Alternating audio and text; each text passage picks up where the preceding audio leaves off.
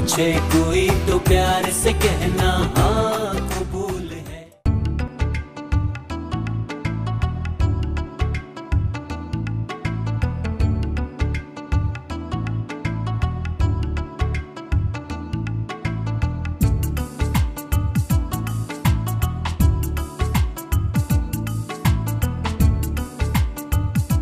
जी नाजिन आप देख रहे हैं कि हमारी मेहंदी की दुल्हन जो है, वो माशाल्लाह पहले ही बहुत प्यारी थी और ज़्यादा प्यारी लग रही है। नसीम ने बहुत अच्छा मेकअप किया है और फूलों के जेवर ने जो है वो चार चाँद लगा दिए हमारी दुल्हन के हुस्न में।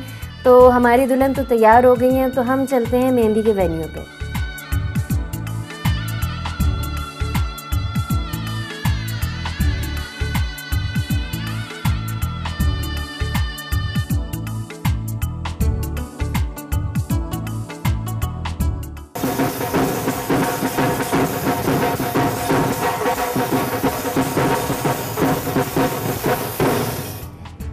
नाजिन हम मेहंदी के वेन्यू पे पहुँच चुके हैं और बड़े मज़ेदार सी आज हम मेहंदी करेंगे और आपसे मुझे एक बात करनी है। हमारे बहुत सी बुज़ुर्ग खातन और हमारी बहनें या जिनकी शादियाँ हो चुकी हैं, उन्होंने हमें एक सजेशन दी थी।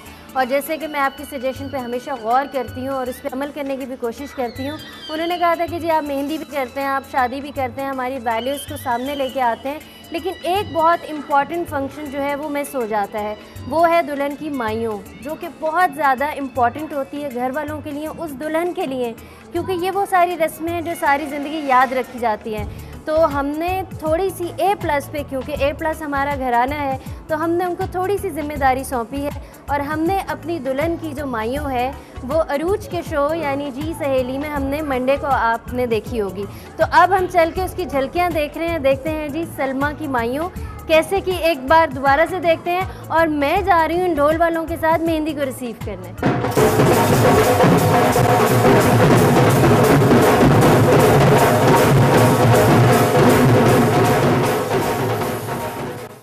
शामदीद कहते हैं ए प्लस घराने में और यहाँ पर हम लोग की इस प्यारी सी सहेली जिसका नाम है सलमा अकरम, उनकी ढोलक है मायूं है और साथ ही साथ हम उपटन की रस्म करने जा रहे हैं। सबसे पहले हम इनकी अम्मी से कहेंगे कि वो इस रस्म का स्टार्ट करें। आए जी प्लीज़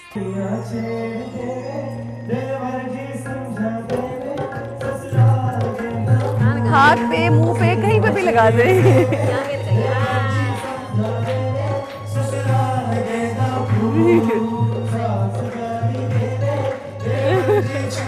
चलिए। पहले मिठाई खिलाओ।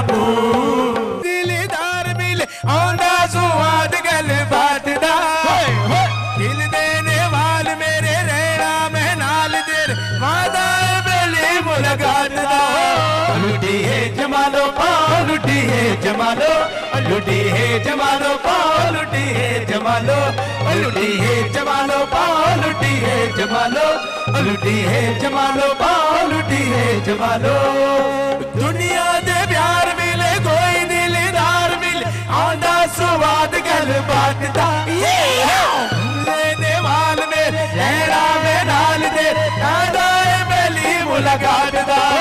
लुटी है जमानो पा लुटी है जमानो जी नाजिन आपने मायूँ इन्जॉय की आपने झलकियाँ देखी कि कितने खूबसूरत तरीके से जो है हमने अपनी बहन की मायूँ की। अब मेहंदी भी उतने ही प्यारे तरीके से करेंगे। आप देख रहे हैं कि मेरी सखी सहेलियाँ यहाँ पे मौजूद हैं।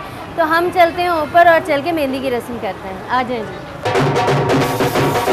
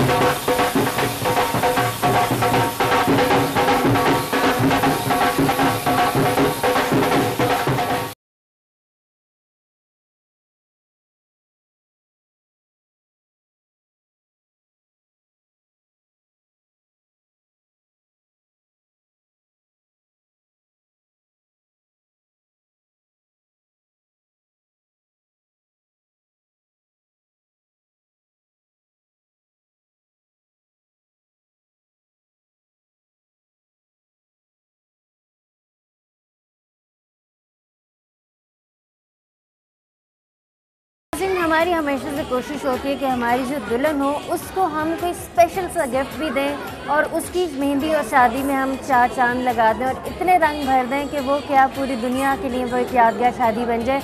आज भी हमने एक छोटी सी कोशिश की है और यहाँ पे अपने एक स्पेशल गेस्ट को बुलाया है। और वो गेस्ट कौन है? मैं आपको थोड़ा सा तारुफ कराती चलूँ। हमारे बहुत बड़े एक लोक फनकार थे, आशिक जट साहब। और उनकी ये खूबी ये थी कि फ़र्स्ट टाइम उन्होंने थिएटर लगाया था और ये मेहंदी, शादी टप्पे ये सारी चीज़ों की स्पेशलिटी उनकी ये थी कि वो इसमें बहुत ज़्यादा महारत रखते थे। और आज उनके बेटे जो हैं फजल जट, उनको हमने यहाँ इनवाइट किया है कि वो हमारी दुल्हन की मेहंदी में आके जो है वो चार नहीं, आठ नहीं, बल्कि दस, बारह चाँद लगा के जाएँ। तो जी, हम उनको वेलकम कहते हैं फजल जट साहब। मेहंदी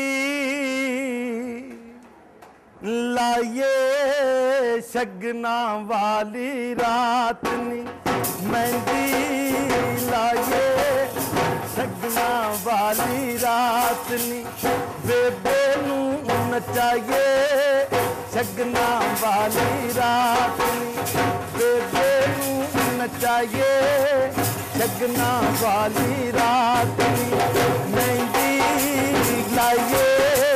शगना वाली रात शगना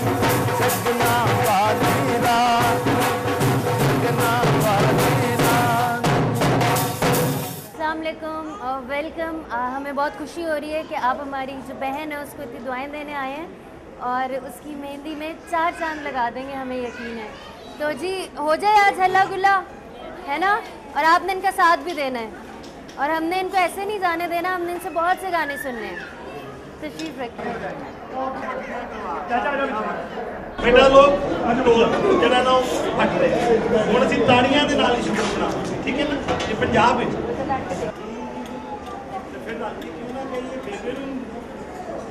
Bebê não me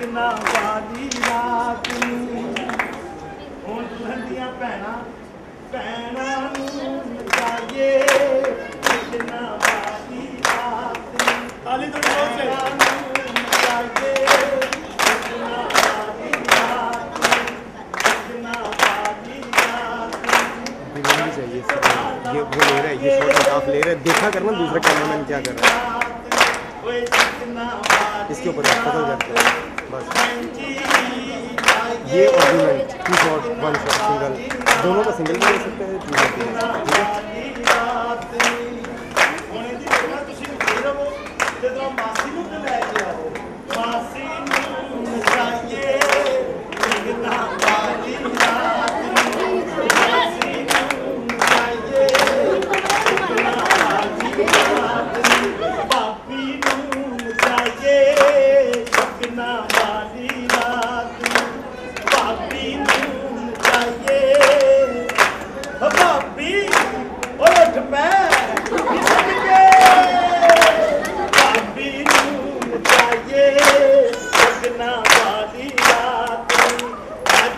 पाइए जगना वाली रात जगना वाली रात